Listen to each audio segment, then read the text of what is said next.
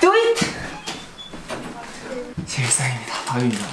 여러분 다이어트 막 직장 생활하고 막 스트레스 받고 이러잖아요. 그리고 막 폭식하면 안 되고 또 마땅히 먹을 때도 없고 하면 어떻게 다이어트 하냐?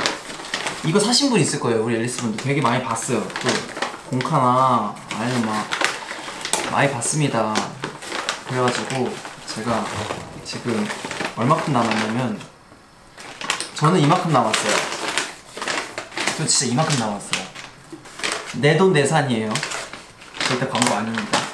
네. 그래서 먹는 거 알려줄게요. 그냥 편의점에서 우유를 뭐 이렇게 조그만 거 사요. 그리고 눈대중으로 대충 그냥 한 마디 정도? 근데 내가 지금 배고프다. 그럼 좀만 더 넣어. 네, 반 마디.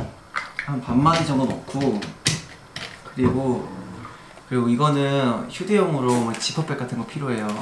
분명- 직장 하시는 분의 앨리스 분들은 이런 것도 잘할것 같아요. 그래서 간단하게 자 이렇게 두 스푼. 하나. 자 둘. 이게 두 스푼 하면 끝! 이게 한 끼입니다.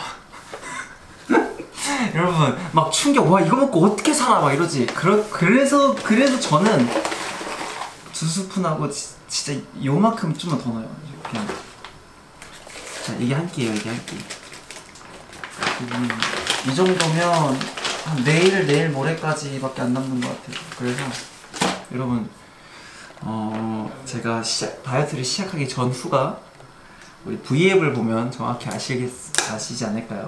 네. 여러분들 파이팅 하세요. 저랑 같이 다이어트 합시다, 앨리스. 너도 할 수 있어. 너도 할 수 있어. 파이팅. 끝.